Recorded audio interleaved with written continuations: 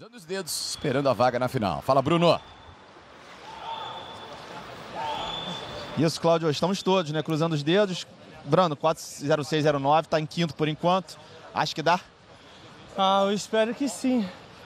Eu achei que fosse dar um pouquinho melhor, mas se classificada para a final tá bom. A parcial de costas foi muito boa, né? Foi, é. Essa parcial onde eu tô acertando bastante. Mas é. Eu preciso agora melhorar o peito. E se eu pegar a final, eu vou tentar melhorar a tarde. Brando, é uma prova que a gente tem aí como referência Phelps, Ryan Lott, no Brasil, Thiago Pereira. Tem alguém que você se espelha assim, você com 19 anos, já com uma experiência olímpica? Ah, eu me espelho bastante no Thiago.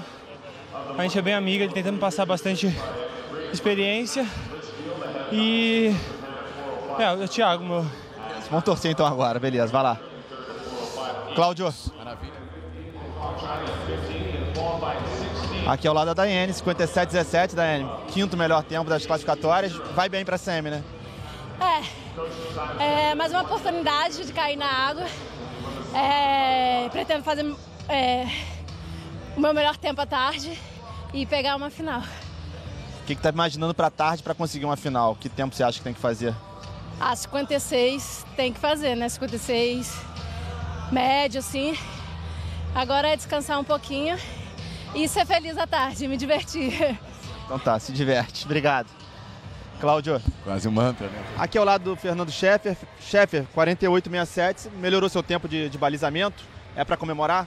É, para comemorar. Uh, o objetivo mesmo era o 200 livre, né? Ter pego a final ali, mas uh, eu conversei com o meu técnico ali. A competição não foi como esperado, mas foi um bom ano e agora é treinar mais para o ano que vem e arrumar o que a gente errou aí. Depois de ter nadado 400, 200, agora 100, o que, que você acha que como é que você sai desse mundial de piscina curta? Ah, eu saio, saio feliz mesmo. Uh, o objetivo aí era os 200 livre, não foi como a gente queria, mas uh, os 400 e os 100 livre aí, a ideia era cair na água o maior número de vezes possível, que isso ia me ajudar muito aí nas próximas competições. Obrigado, chefe. Valeu. Cláudio Show, volto com você. A gente agradece. Obrigado, Cláudio. Estou aqui ao lado da Etienne. Etienne, primeiro você podia explicar pra gente, a gente o, o coach, o Alexandre Puciel, já até dava essa informação antes, que você teria uma novidade aqui no 50 livre, que foi a virada, né? Virando de costas por baixo. Pode explicar um pouquinho, o Vanzella também já tinha falado com a gente sobre isso, explicar por que, que vocês decidiram por essa virada diferente? Logo depois do fim, que eu, é, a gente tinha conversado sobre isso, porque você acaba entrando no nível, eu acabei entrando no nível que quanto mais lapidar é, a prova, os fundamentos, coisas que tentem evoluir sua prova, que você baixe mais o tempo, ajuda. E foi uma das coisas que a gente pensou, puta, vamos fazer a ondulação de cos que você faz muito bem, isso no cos, por que não fazer no crawl, né? Mas eu acho que a minha transição, quando vira do cos pro crawl, que eu tenho que melhorar um pouco. Mas eu gostei muito, eu acho que a gente fez alguns testes nos treinamentos, deram super certo. E essa foi a primeira vez oficial que eu fiz, né? Então eu acho que ainda vou ver a filmagem para ver, mas eu acho que saiu bem encaixado. Imagina que vai manter isso para semi? Se der certo, sim, por que não, né? Então a gente já viu que alguns nadadores já fizeram isso o tempo e deu, deu certo, né? Mas eu acho que é mais de costume, de adaptação mesmo, para que isso dê continuidade. Hoje mais tarde a gente vê na semi do, do, do livre e na final do Chico Costa. É, agora eu vou lá para trás, vou ver toda a minha pós-prova, como é que eu vou reagir. A gente vai sentar direitinho, vai ver realmente o que a gente vai fazer. É, nada impede nadar, mas também nada impede não nadar, né? Eu quero muito conquistar esse bicampeonato aí mundial, quem sabe hoje à tarde. E eu estou muito feliz, eu acho que tá aqui, tá competindo outras provas, três provas já, né, que eu estou nadando. É, eu, sou, eu sou muito grata por isso, ter conseguido nadar o Mundial, última do ano, junto com vários atletas mundialmente falando, né? Mas a gente sabe que tudo é possível no final. Né? Eu vi isso nos jogos, vou ver isso agora. Então, tá aqui é bastante importante. Obrigado, Tiane. Valeu. Cláudio Show, volto com você. Ao lado do Felipe Lima, que assistiu essa última bateria, 26-26, segundo tempo. Tá bom para semifinal, né, Felipe? Não, tá ótimo, tá ótimo. Tô classificado com, é, na primeira série da Raia 4 para semifinais. É, agora à noite é acertar os detalhes. Eu cheguei um pouco longe da parede, é, acertar esse time da Filipina, sair, sair mais forte, sair mais pegado. para estar tá fazendo 25 alto ou 26 ba bem baixinho aí para estar tá classificando para essa final. O coach Alexandre Pucial disse que a sua saída foi muito boa. Concorda com ele? É, eu acertei, a, acertei a, a, o pulo, e, mas só que eu acho que eu, eu apressei demais na, no time da Filipina, então por isso que eu cheguei muito longe da parede. Então é acertar esse time da Filipina para estar tá acertando a abraçada justo na parede para estar tá virando forte e voltando e voltando para bater na frente. Felipe, boa sorte mais tarde. Já está chegando aqui o Xará, o Felipe França. França, é... tem a semifinal antes, mas não dá para não pensar em possibilidade de tricampeonato mundial nessa prova, né?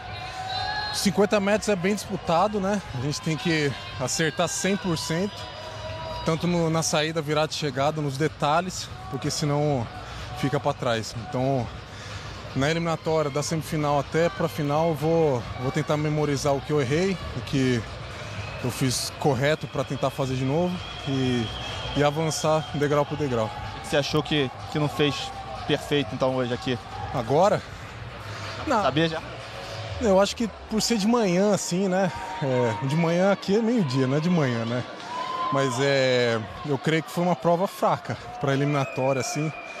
Na eliminatória de Doha já saiu uns 25. E, mas eu nadei tranquilo essa eliminatória, até para sentir mais a água. E vamos para final, para semifinal para e classificar para final. E aí acertando os detalhes. Obrigado, Felipe. Cláudio, volto com você. Legal. Bom, estamos aqui com o Fernando Vanzello, técnico da Etienne Medeiros, para falar de algumas novidades que a gente já viu, inclusive, da, da Etienne hoje no, nos 50 livre. A virada dela, uma virada que a gente costuma ver quem está nadando de costa, né, Vanzello?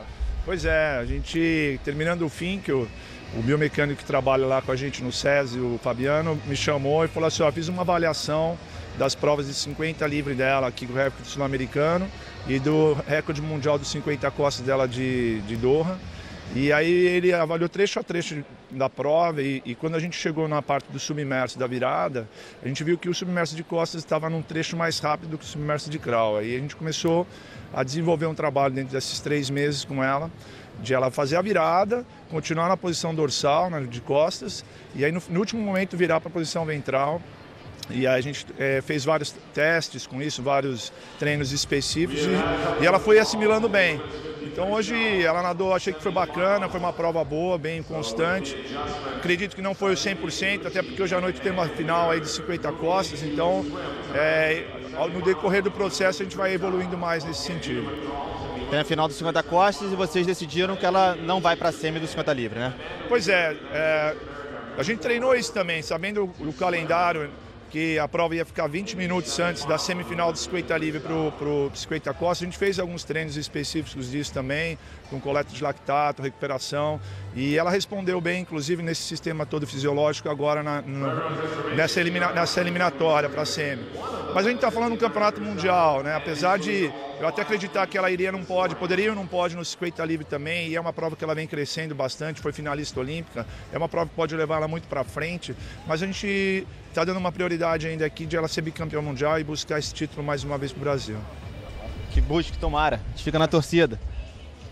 Maravilha.